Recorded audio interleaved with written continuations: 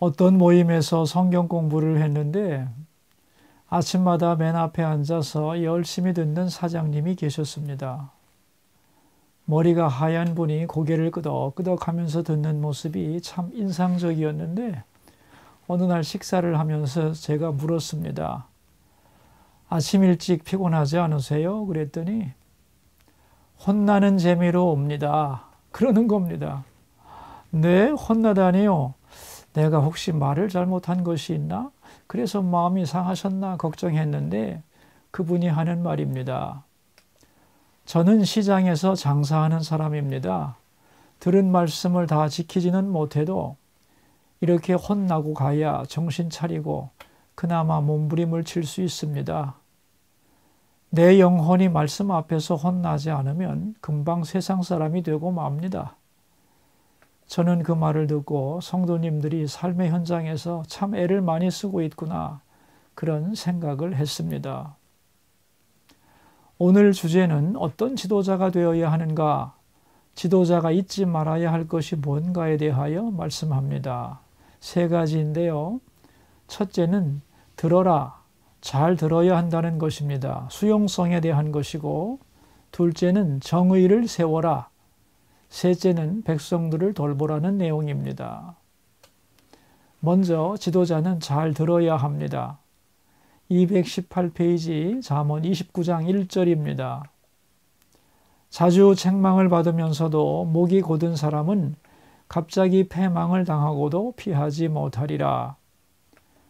왕은 하나님의 뜻을 이 땅에 펼치는 사람입니다. 그러나 왕이라도 완전하지 못합니다. 그래서 잘못할 수 있지요. 이스라엘에서는 왕이 잘못할 때 선지자들을 보내서 책망합니다. 그래서 나라가 망하기 전에는 그렇게 많은 선지자들이 활동했던 것입니다. 그런데 책망은 사랑하기 때문에 고치라고 기회를 주는 것이기 때문에 사실은 은혜입니다. 그런데 우리가 어디 가서 책망을 듣겠습니까? 누가 내 영혼을 향하여 정확하게 책망해 주겠습니까? 세상은 내가 듣기에 좋은 소리만 합니다. 그러나 하나님의 집에서는 하나님이 나를 책망하십니다. 물론 위로와 사랑의 말씀이 많겠지만 때로 책망을 하더라도 수용해야만 합니다. 책망을 감사하고 즐거워해야 합니다. 그런데 책망을 받고도 목이 곧으면 갑자기 패망한다고 했습니다. 왜 그럴까요? 이미 책망을 통해서 경고하고 고칠 기회를 많이 주었습니다. 그것을 다 거부했기 때문에 갑자기 패망하는 것처럼 느끼는 것입니다. 위로부터 오는 하나님의 책망도 있지만 지도자를 향한 국민들의 갈망과 외침도 있습니다. 그 소리에도 귀를 기울여야 합니다. 외면하면 망합니다. 왜냐하면 권력은 국민에게 있기 때문입니다. 그런데 너희는 떠들어라. 나는 끄떡도 안 한다. 이런 식으로 간다면 갑자기 패망할 수밖에 없는 것입니다. 그러니까 지도자는 내가 잘하고 있는지 아닌지 내 주변에 있는 사람들을 살펴보아야 합니다. 겸손한 마음으로 내 주변을 잘 살펴보면 알 수 있습니다. 우리 국민들이 행복한지 아니면 탄식하고 있는지 내가 좋은 남편인지 어떻게 알 수 있을까요? 아내의 얼굴을 살펴보면 됩니다. 부모라면 자녀의 얼굴을 살피면 되는 것입니다. 두 번째는 지도자는 정의를 추구해야 합니다.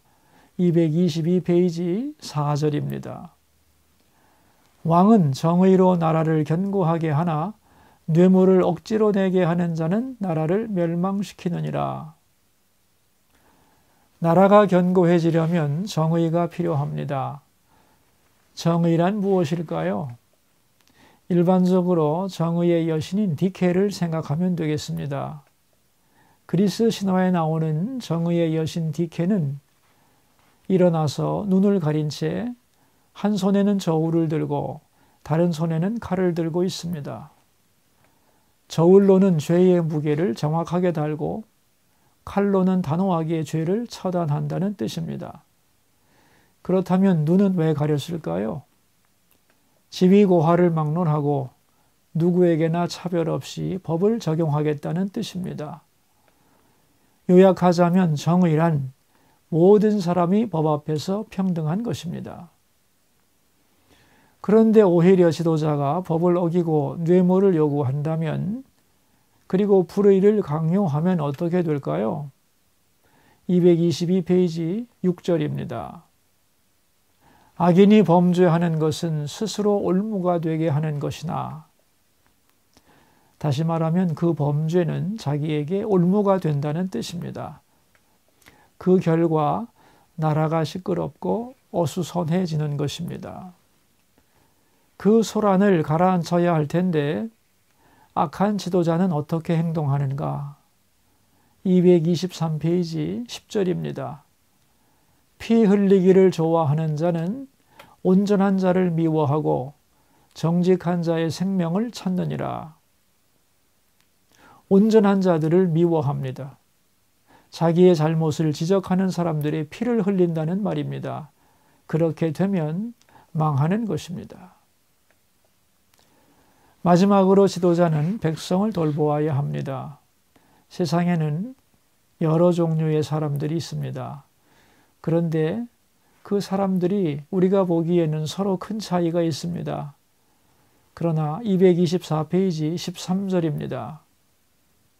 가난한 자와 포악한 자가 섞여 살거니와 여호와께서는 그 모두의 눈에 빛을 주시느니라. 하나님은 그들 모두의 눈에 빛을 주셨답니다. 생명을 주셨다는 말입니다. 그들 모두를 눈동자같이 아낀다는 말입니다. 다시 말하면 하나님은 가난한 사람이나 잘 사는 사람이나 모두에게 공평한 분입니다. 그러므로 왕에게는 중요한 임무가 있습니다. 224페이지 14절입니다. 왕이 가난한 자를 성실히 신원하면 그의 왕위가 영원히 견고하리라. 왕의 임무는 가난한 사람들을 돌보는 것입니다. 이 말은 가난한 자만 편애하라는 뜻이 아닙니다. 왕에게는 백성들이 있고 백성 중에는 부자도 있고 가난한 자도 있습니다.